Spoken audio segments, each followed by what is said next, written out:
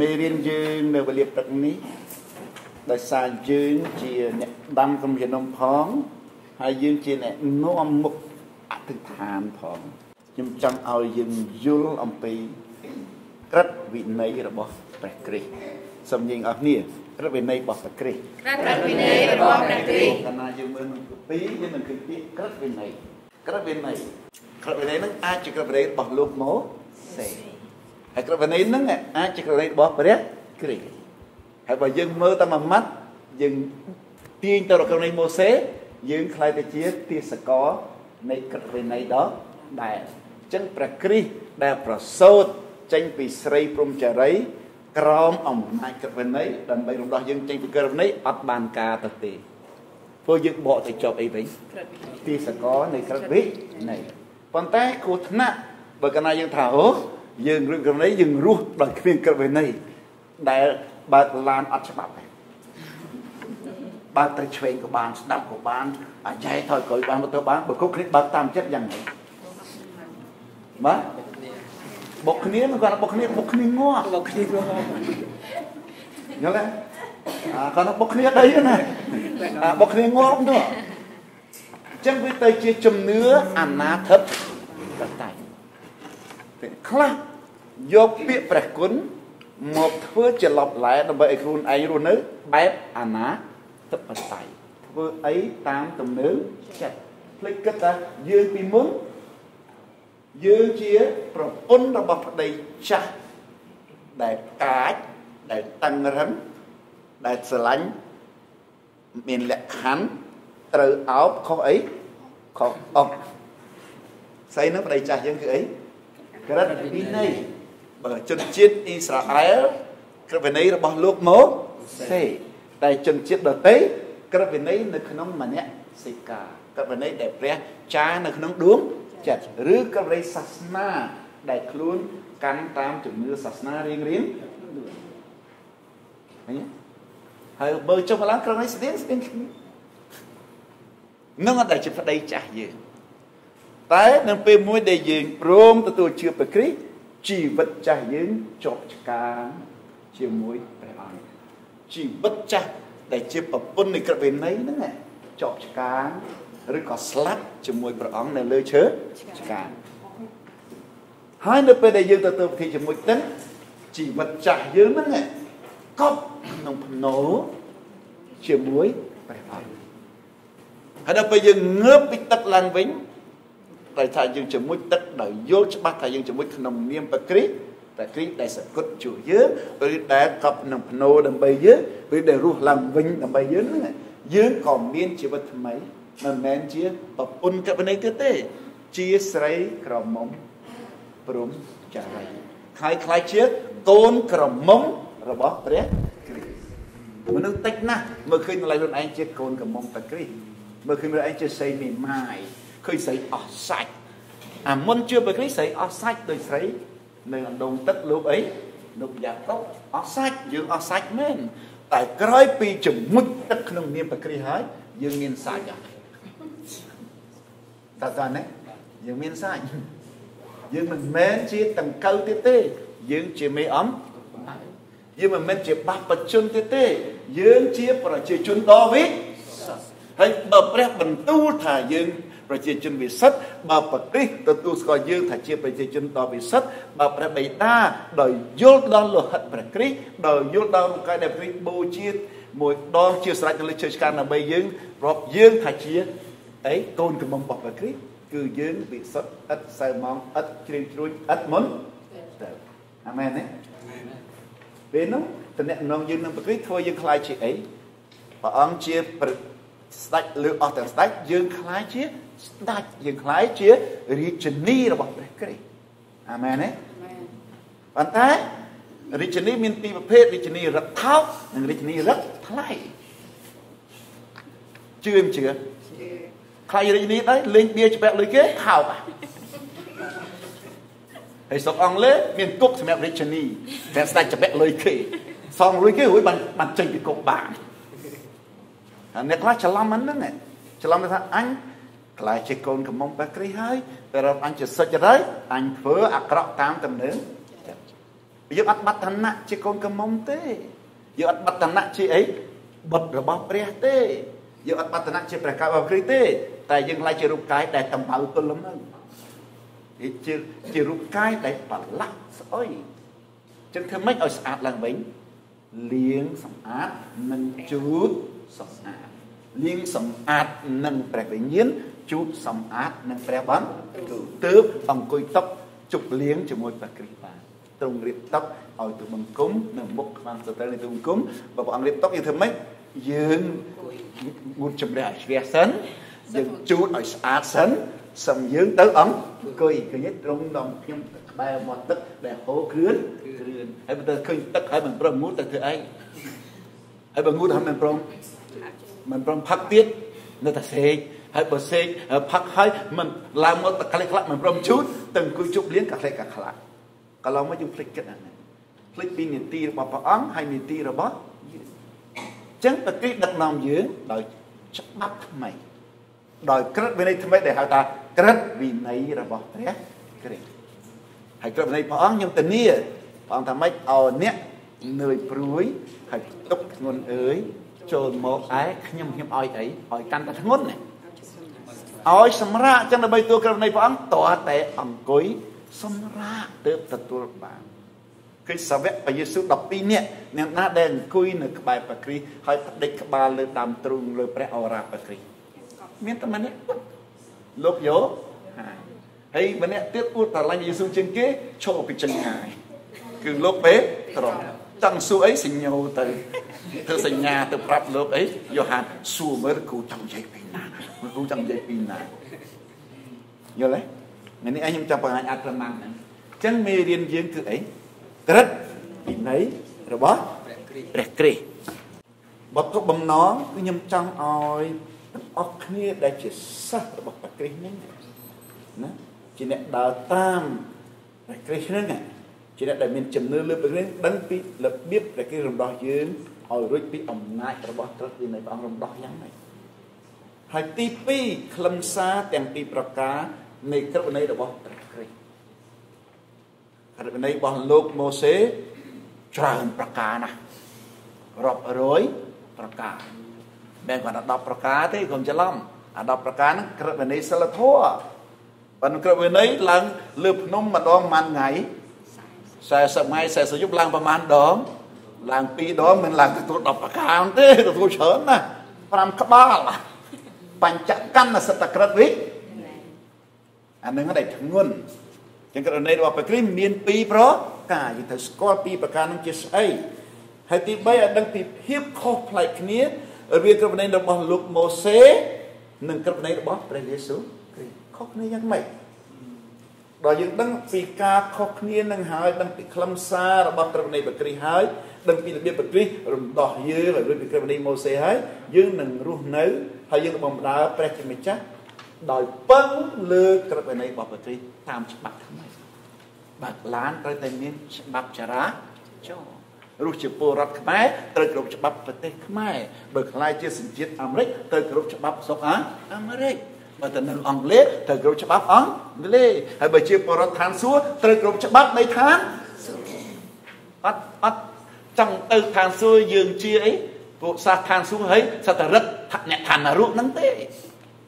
បញ្ហាគឺហៀងសត្វតែយើងជាពួកសាសឋានសួគ៌ដល់គិតគិតលៀបពួកសាសឋាននរកហើយគេហៅនរកលោកីណាតាចឹងក្រោយពីយើងចេះរស់ហើយចេះបំរើរបៀបថ្មីតាមច្បាប់ព្រះគ្រីស្ទតាមដោយព្រះគ្រីស្ទ យើងនឹងមានសេរីហ៎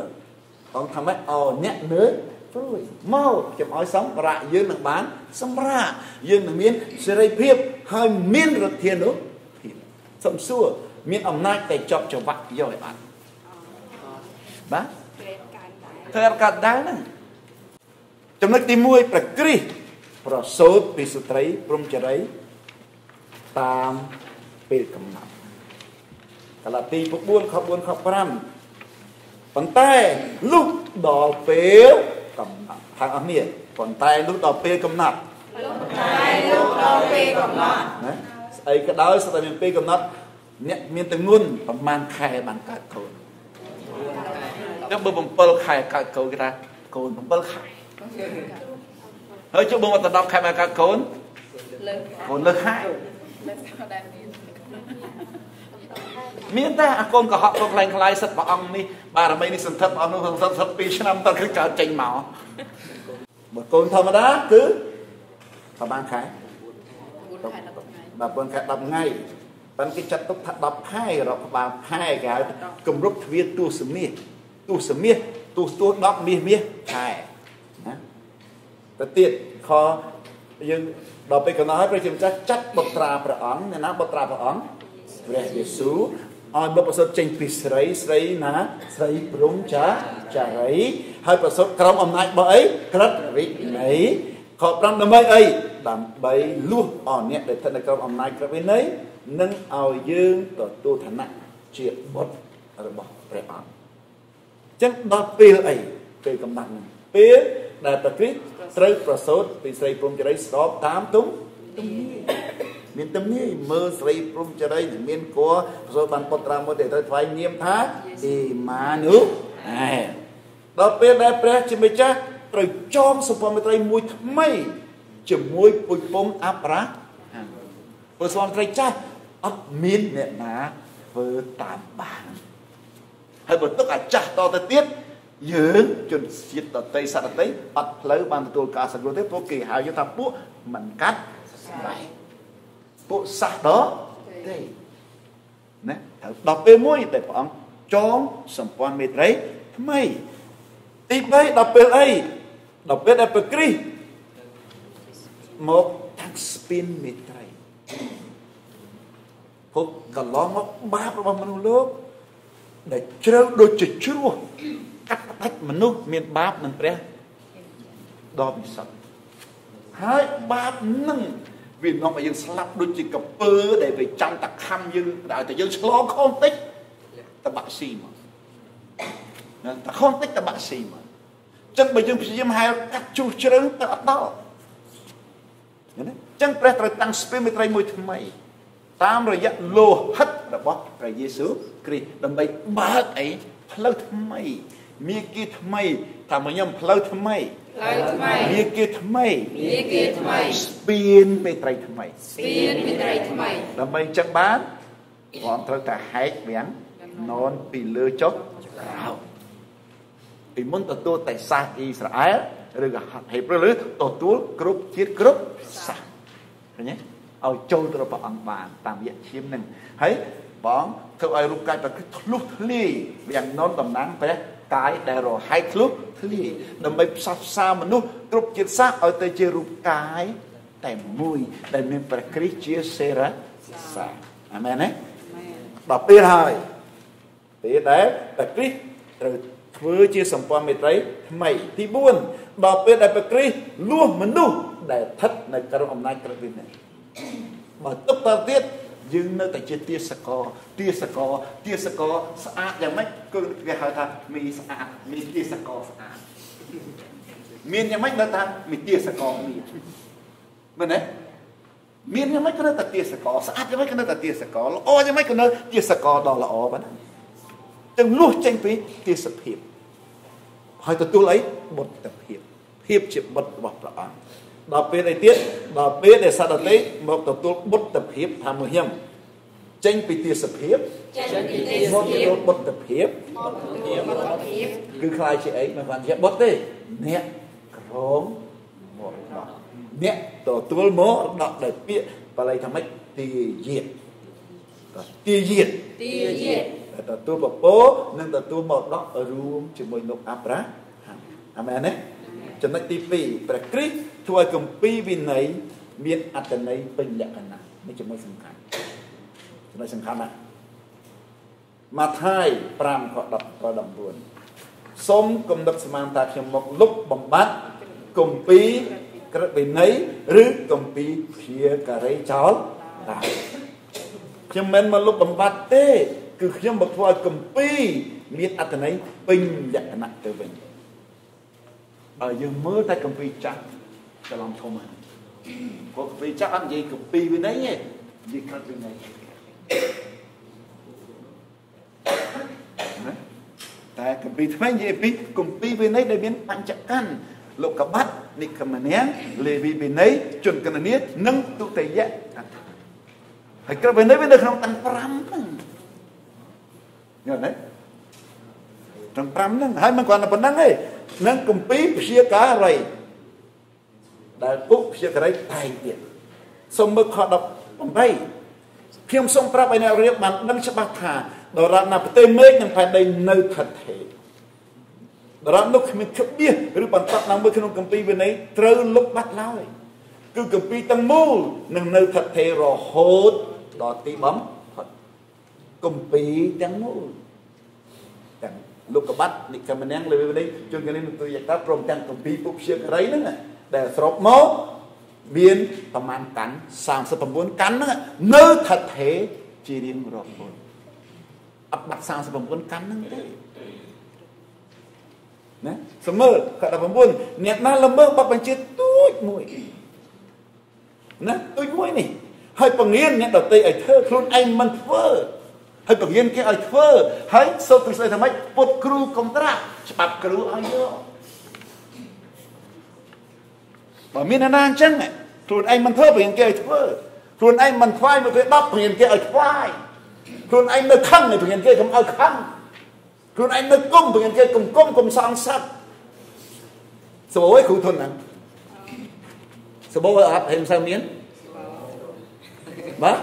ហើយយើងនឹងចំណាប់នឹងដែរអត់គឺមុនមក ដូចស្តៀងដែរ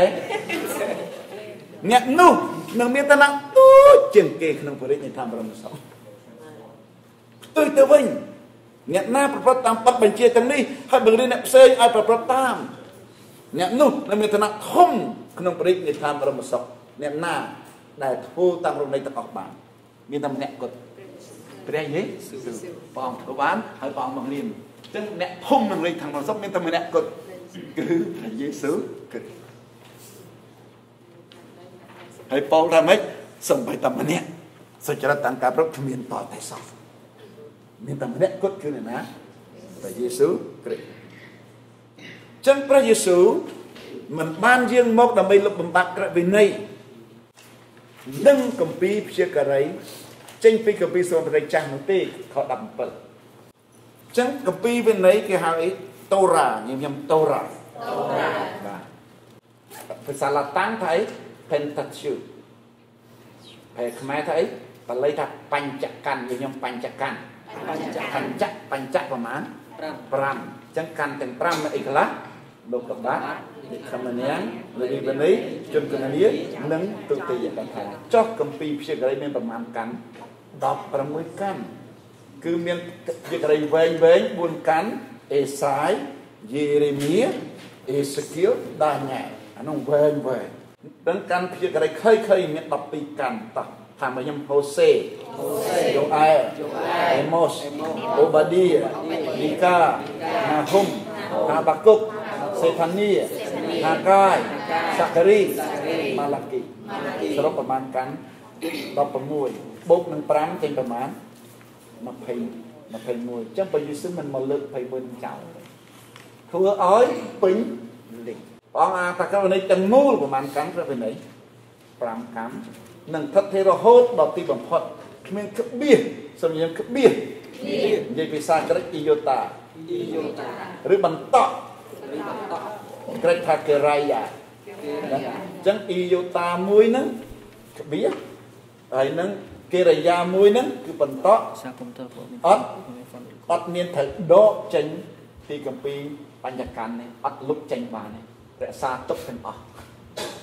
ម្ល៉េះឯនេះមានបាត់ទេមានបាត់ទេហើយអ្នកខ្លះបកស្រាយថាត្រូវតែធ្វើតាមហ្នឹងទាំងអស់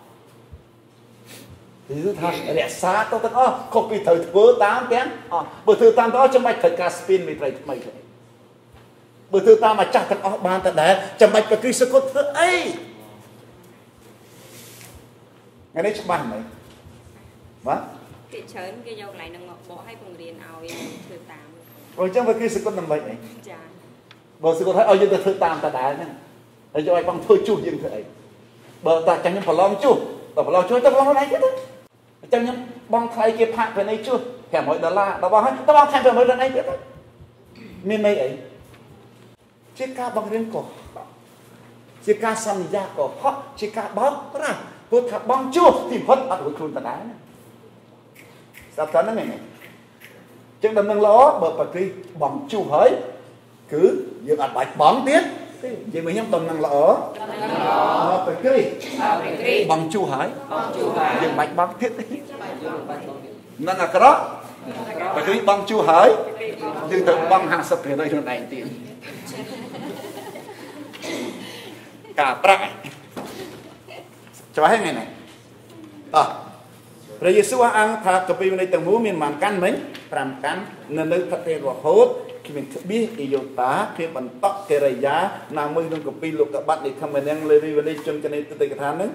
ខ18ត្រូវលុបអត់លុបចោលម្ដងនេះ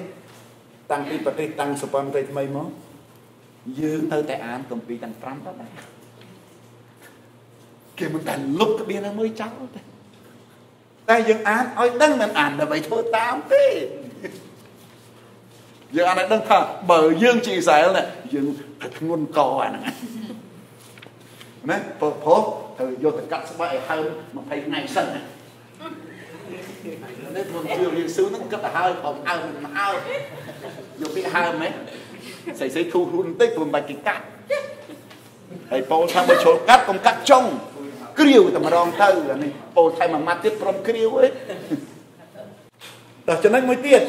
ក្នុងសេចក្តីបង្រៀនរបស់ព្រះយេស៊ូវវិញណាក្នុងជំពូក5ហ្នឹង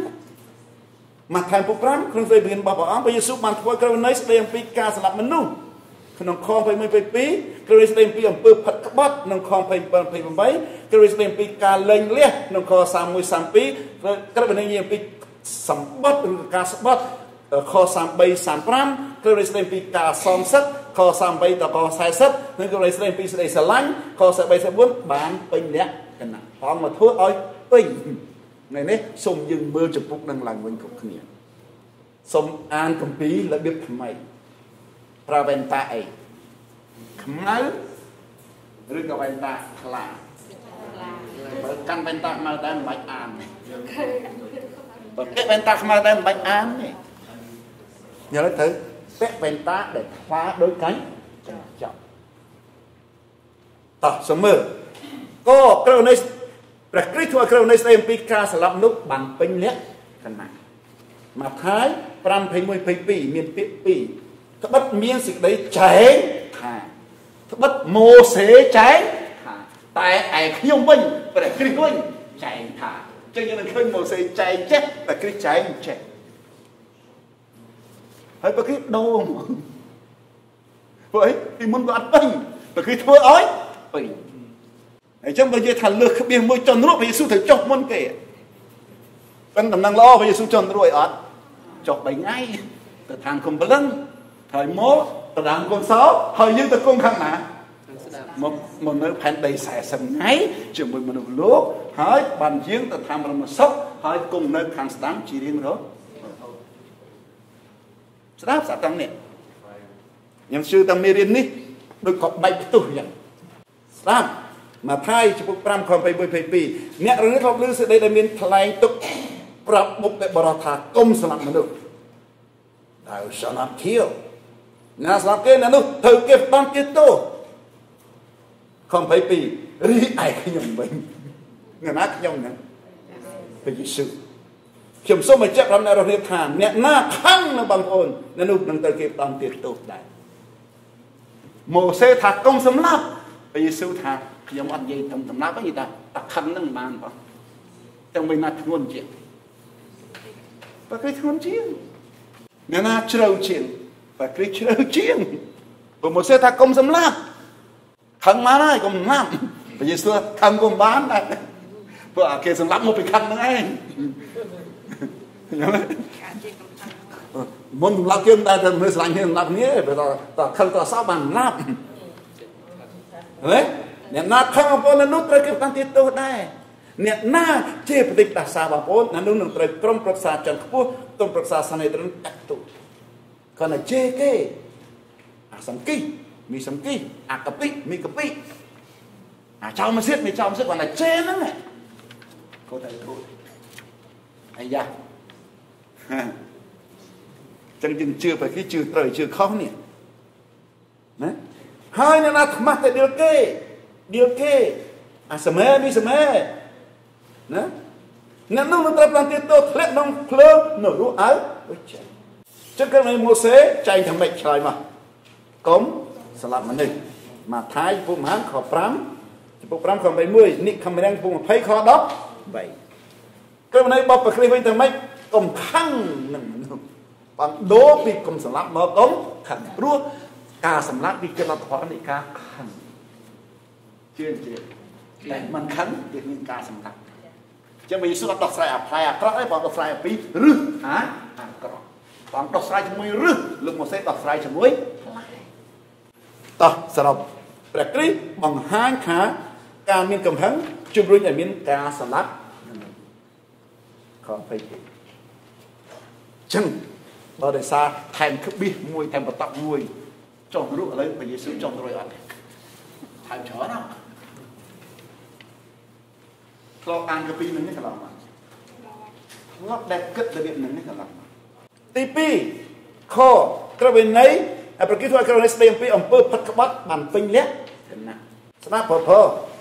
មកថាចំពោះ5ខ27 28ហើយស្អីស្អីជួយធ្វើសាក់សីប្រពោត្រូវស្ដាប់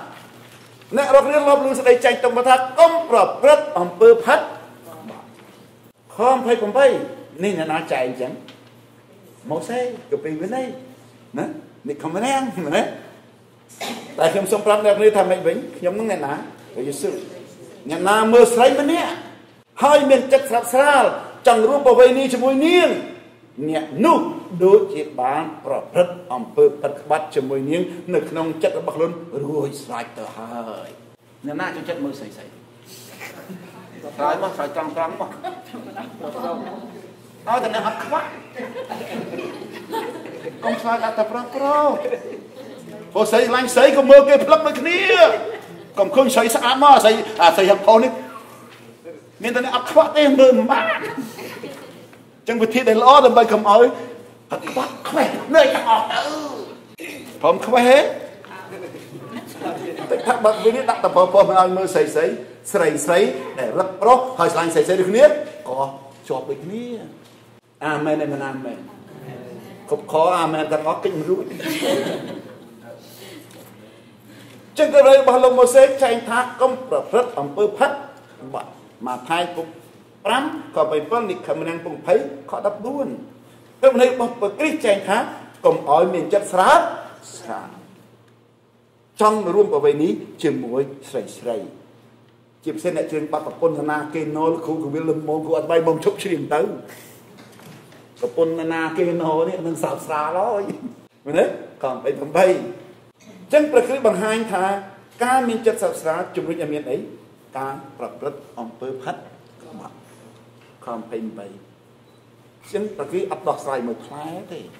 បងដោះស្រាយជាមួយឬកែម៉ូសេក៏នេះម៉ូសេសំដៅទៅលើផ្លែអាក្រក់ដល់ព្រះគ្រីស្ទដោះស្រាយមួយឬកែអាក្រក់ប្រភពអាក្រក់ទៅនាំឲ្យផ្លែអាអាក្រក់តែយើងផឹកទឹកទឹកពុលខ្លួនយើងយ៉ាងម៉េចសុខភាពយើងពុលមិនចឹងហ៎ហ្នឹងហើយគោក្រឹបវិន័យបើគេមកធ្វើឲ្យក្រឹបវិន័យស្ដីអំពីការលេងដាស់គ្នាបានពេញលក្ខកណ្ណា មកថាយចំពុក5ខ31 32មានស្ដីចែកទឹកមកថាបរោះណាលែងភរិយាត្រូវធ្វើលិខិតលែងលះឲ្យមាននេះក្រឹបវិន័យលោកម៉ូសេបើលែងពុនត្រូវលុបអេតាស៊ីវលខ32ព្រះយេស៊ូវថាម៉េចខ្ញុំសូមបញ្ជាក់ប្រាប់អ្នករស់នេះថាបរោះណាលែងភរិយារបស់ខ្លួនបរោះនោះធ្វើឲ្យនាងទៅជាស្រីផិតក្បត់ហើយបើនាងនោះទៅរៀបកម្មដល់ទៀតបរោះណាដែលរៀបកម្មមួយស្រីប្តីលែងបរោះនោះក៏ប្រព្រឹត្តអំពើផិតក្បត់ក្បត់ប្រមាណជាន់ពីរជាន់គឺឲ្យស្រីហ្នឹងក្បត់ហើយគឺឲ្យប្រុសដែលមកកាងនេះហ្នឹងក្បត់បន្តម៉ូសេថាលែងលែងចុះតែលុបសបុតអាពីពីពីយេស៊ូវថាបបចូលជាយកហើយកុំលែងទៅយកហើយមកជីវិតនៅលីបាននៅទៅទៅយកហើយប៉ះខ្លាំងញីក៏ទៅតំតមួយខ្លាំងញីមួយជីជីវិត នេះថ្ងៃនេះអ្នកណាមិនតរៀបការខ្ញុំប្រាប់ខ្ញុំប្តីគេផងឪគេផងឪក្មេកផងតាផងតាទៅផងខ្ញុំប្រាប់តែស្រីណាក៏ដោយឆ្នាំមន់តែមុនការទេអារួចខ្លាចណាឆ្នាំអីមិនសាយតែមុនការទេតែកាហើយចូលឆ្នាំខ្លាញីទាំងអស់មិនខ្លាឈ្មោះទៀតលើកលែងតែមានការអស្ចារ្យដោយព្រះវិញ្ញាណ លើកលែងតែមានការអស្ចារ្យព្រះវិញ្ញាណទើបនារីនោះមិនទៅជាខ្លាញីនេះលើកលែងតែអីទៀតលើកលែងតែរួមរស់ជាមួយគ្នាដែលឥតបានរៀបការអានេះហើយគ្រាន់តែថាប្តីពុនប្តីពុនតែគ្មានការរៀបការថាប្តីពុនតែអត់មានសម្បត្តិបញ្ជាក់អាពាហ៍ពីពីអានឹងឲ្យសង្សារបងមិនលែងលែង bằng តែប្រពន្ធទេសារលែងមិនកើតលែងក៏អត់កើតមកវាអត់មានសម្បត្តិលែងយ៉ាងម៉េច ចឹងប្រាប់បន្ទូលនេះយើងកុំយកទៅវាយគ្រូខ្លះដែលអតីតកាលគាត់មានប្រពន្ធដែលអត់បានរៀបការអានោះសង្សារអានោះខាត់ថត់នៅប្រពន្ធតតែមានអីសម្បត្តិអេតាស៊ីវិលដែលបញ្ជាក់ដោយមន្ត្រីអត្រានគរឋានដែលយើងហៅថាសម្បត្តិបញ្ជាក់អាពាហ៍ពីពីពីហើយ ឈប់ប្រើពាក្យមេម៉ាយអត់ពិតទៀតមេម៉ាយហ្នឹងគឺប្តីស្លាប់មកគេហៅស្រីមេម៉ាយហើយតាលែងប្តីគេមិនហៅស្រីមេម៉ាយគេហៅស្រីប្តីលែងហើយកន្លងមកអាប្តីស្លាប់ក៏មេម៉ាយអាប្តីលែងក៏មេម៉ាយតែមេម៉ាយគឺប្តីស្លាប់ហើយតើប្តីនៅរស់ស្រីប្តីលែងកូនច្បាស់ហ្នឹងឯណាកូនច្បាស់នៅដល់ទៅមេម៉ាយចាប្តីខ្លះណាស់នៅរស់តាអានោះស្រីប្តីលែងអង់គ្លេសហៅ divorce វីដេអូតតែប្តីស្នាប់ហើយកន្លងមកយើងច្បុកច្បងឥឡូវច្បុកច្បងទៀតឬក៏លែងច្បុកច្បងបាទបាទអើយបងដូចគ្នាកុំថាប្រុសពោះម៉ាយ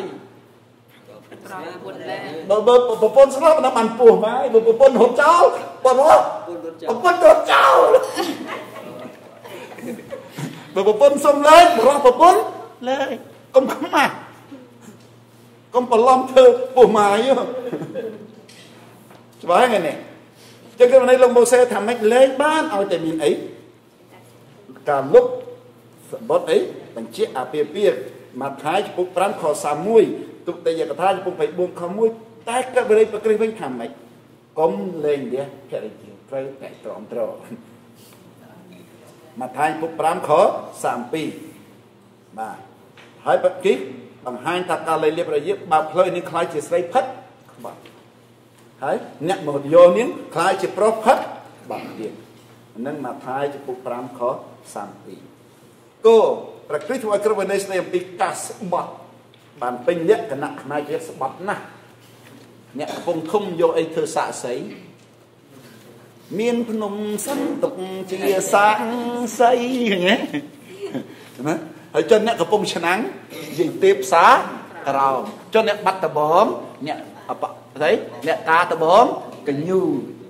ហើយចុះអ្នកសៀមរាបព្រះអង្គជេកព្រះអង្គចោមចុះអ្នកកំពុងស្ពឺអ្នកតាដបងដែកហើយចុះពួកកពតពួកកែពួកកោះកុំកំពុងសោមនិយាយម៉ៅជំទាញម៉ៅ ធ្វើសាច់សៃខ្លះពេកមិនហ៊ានយកអ្នកតាធ្វើសាក់សៃយកអី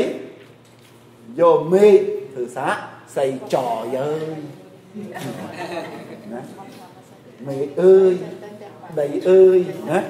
យកមេឃយកដីជាងមើលរឿងចិនចូលចិត្តយកមេឃយកយកដីធ្វើសាក់សៃក34រីឯខ្ញុំវិញនឹងសូមបញ្ជាក់ប្រាប់អ្នករស់ថាកុំស្បត់ឲ្យសោះ ឃើញទេម៉ូសេថាម៉េចព្រះវិន័យចែងថាម៉េចក៏សាបីអ្នករស់នេះធ្លាប់លើស្ដីចែងមកថាកុំបំភ្លេចពាក្យសម្បត្តិឡើយត្រូវតែធ្វើតាមគ្រប់កិច្ចដែលអ្នករស់បានស្បត់មានន័យថាបើធ្លាប់បែបន់ធ្លាប់ស្បត់កុំភ្លេចពាក្យសម្បត្តិបើធ្លាប់បែបន់ត្រូវលាបំបំណាស់តែខ្ញុំវិញព្រះយេស៊ូវវិញប្រាប់ថាកុំស្បត់កុំស្បត់យកមេឃធ្វើសាស័យព្រោះមេឃជារបស់ព្រះយើងអាចលួចរបស់គេមកធ្វើសាស័យបានទេយល់ទេ អត់ទេខ្ញុំសុំខ្ចីលុយខ្ញុំគ្រូសុំខ្ចី500មានអីប្រចាំយកឡាននោះមកប្រចាំយកឡានគេមកប្រចាំខ្ចីលុយគេយកឡានដតីមកប្រចាំហ្នឹងទៅរួចឯងកន្លងមកយើងស្បាត់ចឹងនេះស្បាត់ប៉ុន្តែយកស្អីមកធ្វើសាកសីយកមេឃរបស់ព្រះមកធ្វើសាកសីអត់ហ៊ានយកព្រះទេព្រោះខ្លួនឯងអត់ស្គាល់ព្រះខ35កុំស្បាត់យកផែនដីជាសាកសីដែរព្រោះដីជាអី កំណល់ព្រះបាទរបស់ព្រះអង្គមេឃជាបលាំងដីជាកំណល់បងធំណាចឹងក្រមនីម៉ូសេចែកថាម៉េចកុំភ្លេចពាក្យសម្បត្តិស្បត្តិបានទេបាន តែបើស្បត្តិកុំភ្លេចពាក្យសំសម្បត្តិនឹងក្រមនីម៉ូសេ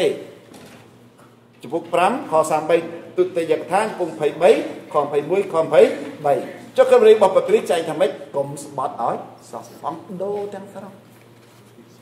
ដូរទាំងស្រុងចឹងសរុបមកប្រគ្រីបង្ហាញថាម៉េចមនុស្សមិនអាចស្បត់ដែលយកមេឃនិងដីធ្វើស័ក្តិសិទ្ធិបានទេមកខាយចំពុក5ខ34 35